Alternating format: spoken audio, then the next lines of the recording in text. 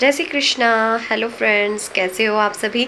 I hope आप सभी बहुत अच्छे होंगे और अपनी अपनी गार्डनिंग में व्यस्त होंगे। फ्रेंड्स हम लोग स्प्रिंग सीज़न जाने के बाद भी समर्स आ गए हैं, फिर भी गार्डनिंग में कुछ ना कुछ काम निकलता ही रहता है। तो आज जो काम मैं करने वाली हूँ या जो इस प्लांट के बारे में जानकारी देने वाली हूँ, उस प्लांट का नाम है सिंगोनियम या एरोएड प्लांट्स बहुत ही बढ़िया और हार्डी प्लांट होता है। इसी के बारे में आज हम ओवरऑल बात करेंगे। इसके इसको ग्रो कैसे करना है, इसको पॉट साइज़ कैसा चाहिए सॉयल मिक्स कैसी होनी चाहिए एटमॉस्फेयर कैसा चाहिए सनलाइट रिक्वायरमेंट क्या होनी चाहिए। पेस्ट अटैक किस तरीके से होता है? फर्टिलाइज़र के बारे में बात करेंगे। इसे किस तरीके के फर्टिलाइज़र देख करके हम होल्ड करके रख सकते हैं? इस प्लांट से हम ढेरों प्लांट्स कैसे बना सकते हैं? तो पूरी जानकारी दूँगी। वीडियो को पूरा देखिएगा। बिना स्किप किए और आपसे एक छोटी सी रिक्वेस्ट है कि अगर आप मेरे चैनल पर न्यू हैं तो प्लीज़ इसे सब्सक्राइब कर लीजिए और बेल आइकन और पर प्रेस कर लीजिए, जिससे आने वाली वीडियो की नोटिफिकेशन आप तक डायरेक्टली पहुँचती रहे और आप मेरे वीडियो को सबसे पहले देख पाएँ। तो देखिए फ्रेंड्स मेरे छोटे से प्लांटर में ये सिंगोनियम प्लांट लगा हुआ है। जिसे हम एरोहेड प्लांट भी कहते हैं, जिस, जो बाय रूट्स ग्रो होते हैं, उन प्लांट्स को हम एरोहेड प्लांट्स कहते हैं। और बहुत ही खूबसूरत तरीके से ये प्लांट ग्रो होता है। इसको प्रोपोगेट कैसे करना है, उससे रिलेटेड वीडियो मैंने अपने चैनल पर थोड़े ही समय पहले अपलोड किया है। तो अगर आप वो वीडियो देखना चाहते हैं तो डिस्क्रिप्शन बॉक्स में मैं उसका लिंक दे दूँगी। तो सिंगोनियम को किस तरीके से प्रोपोगेट करते हैं, वो आपको पता चल जाएगा वहाँ से। तो फ्रेंड्स सिंगोनियम प्लांट बहुत ही बढ़िया हार्डी प्लांट और एक मनी प्लांट की तरह ग्रो होने वाला प्लांट है। लेकिन फिर भी ये मनी प्लांट से थोड़ा अलग है। वो कैसे? क्योंकि आप चाहें तो इस प्लांट को बुशी बना के एक ही जगह जैसे मैंने यहाँ पर इसमें पॉट में लगाया है तो ये बिल्कुल बुशी प्लांट है। ये अपने आप में ही बुशी हो रहा है। मनी प्लांट की तरह, बेल की तरह नहीं चल रहा है। अगर आपको इसे बेल की तरह चलाना है तो इसकी एक थोड़ी बिग साइज़ वाली वेराइटी आती है। वो आपको परचेस करनी होगी। तो सिंगोनियम में दो तरह की वेराइटी आती है। एक तो बुशी वाली, जिसकी लीव्स थोड़ी छोटी होती है, जो आप स्क्रीन पर देख रहे हैं, और एक होती है थोड़ी बिग साइज़ वाली वेराइटी उसमें ना रूट्स भी निकलती हैं बहुत ज़्यादा, और वो मनी प्लांट की तरह आप क्लाइम भी उसको करवा सकते हैं, यानी कि उसको ऊपर की तरफ़ चढ़ा भी सकते हैं। बहुत हार्डी प्लांट है। पॉट साइज़ की बात करें तो ये छोटे से पाँच इंच के गमले से लेकर के बारह इंच तक के गमले में किसी भी तरीके के गमले में सर्वाइव कर जाता है। बहुत अच्छे से ग्रो होता है और ये एक इंडोर प्लांट है। इसे ज़्यादा सन इसे ज़्यादा डायरेक्ट सनलाइट की या ज़्यादा धूप की ज़रूरत नहीं होती है। बस एक खुला ओपन एरिया होना चाहिए जहाँ पर हवा का आवागमन हो और बहुत अच्छे तरीके से ये ग्रो कर सके। तो पॉट साइज़ के बाद अब हम इसकी सॉइल मिक्स की बात करते हैं। तो सॉइल मिक्स इसके लिए चाहिए वेल ड्रेंड सॉइल अगर आप गमले में लगा रहे हैं तो वेल ड्रेंड का मतलब होता है अच्छे से पानी निकल जाए जिस मिट्टी में से ऐसी मिट्टी बनानी है। पोरस मिट्टी जो कि बहुत ही पोरस हो, पानी डालते ही सीधे एब्जॉर्व कर ले और ड्रेन आउट भी कर दे। इसके लिए आपको कंस्ट्रक्शन सैंड का यूज़ करना होगा, बालू रेत और कंकड़ पत्थर भी आप उसमें मिट्टी में ऐड कर सकते हैं। आपको गार्डन सॉइल गोबर का खाद और आप चाहे तो कोकोपीट भी ले सकते हैं, तीनों बराबर मात्रा में। कंस्ट्रक्शन सैंड उसका एक चौथाई हिस्सा लेना है आपको कंस्ट्रक्शन सैंड का और इसमें मिट्टी में मिक्स करके फंगीसाइड ज़रूर ऐड कीजिए। आप ऑर्गेनिकली जाना चाहें तो दालचीनी या हल्दी का पाउडर आप उसमें ऐड कर सकते हैं। काली मिर्ची का पाउडर भी आप ऐड कर सकते हैं फंगीसाइड के तौर पे।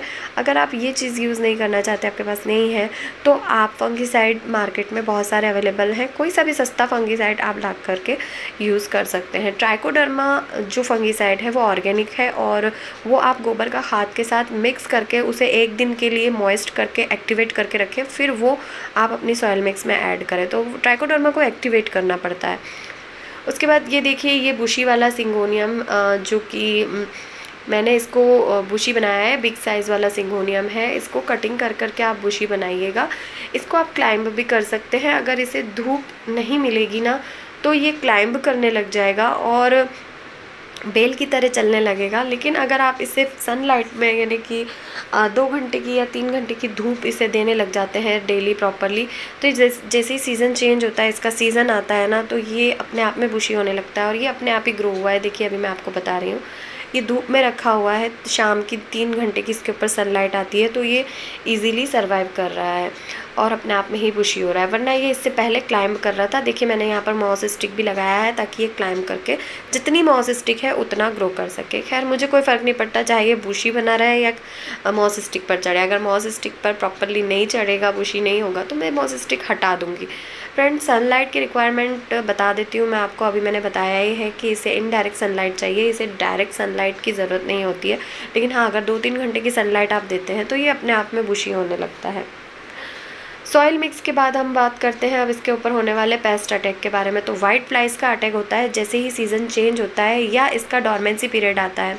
तो डॉर्मेंसी पीरियड होता है नवंबर दिसंबर, जनवरी। दिसंबर और जनवरी इन दोनों टाइम पर ये प्लांट डॉर्मेंसी में जाता है, इस समय इसके ऊपर कीड़ों का अटैक ज़्यादा होता है। कीड़े यानी कि वाइट फ्लाइज सफ़ेद सफ़ेद चिपचिपा एक कीड़ा होता है। ऐसा लगता है जैसे रुई जैसा कीड़ा है।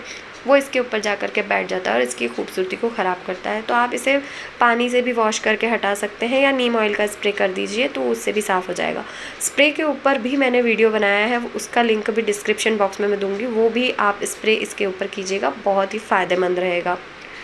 फ्रेंड्स, अब इसके फर्टिलाइज़र की बात करते हैं तो फर्टिलाइज़र आपको इस प्लांट को कब कब देना है? तो जैसे ही सीज़न चेंज होता है, उस समय आप इसे फर्टिलाइज़र दीजिए। लेकिन जब ये डॉर्मेंसी में जाता है दिसंबर, जनवरी में, तब आपको इसको फर्टिलाइज़र नहीं देना है।